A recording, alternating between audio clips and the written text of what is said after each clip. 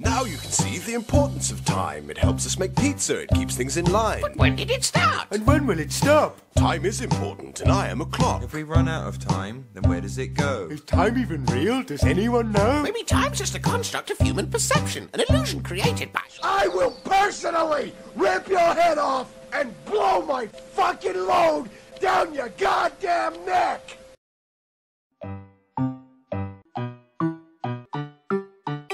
I'm the scat man!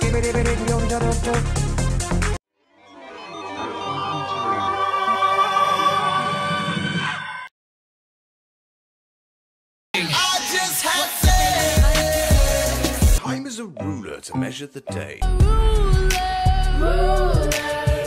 just tried to think creatively. Now, when you look at this orange,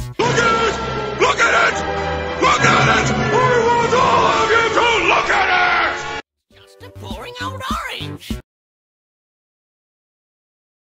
I will personally rip your head off and blow my fucking load down your goddamn neck!